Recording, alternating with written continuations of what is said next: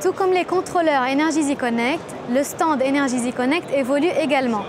Cette année, nous avons répondu aux demandes des installateurs qui souhaitaient voir les produits, toucher les produits et tester en temps réel les différentes compatibilités Energizy Connect.